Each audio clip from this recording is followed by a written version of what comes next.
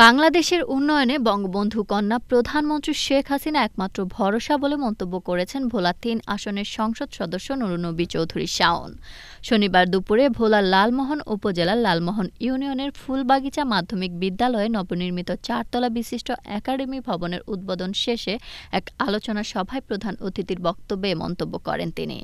ফুলবাগিচা মাধ্যমিক বিদ্যালয় ম্যানেজিং কমিটির সভাপতি ড. মোহাম্মদ হানিফ মাস্টারের সভাপতিতে উদ্বোধনী অনুষ্ঠানে বিশেষ অতিথি ছিলেন উপজেলা পরিষদ চেয়ারম্যান অধ্যক্ষ গিয়াসুদ্দিন আহমেদ।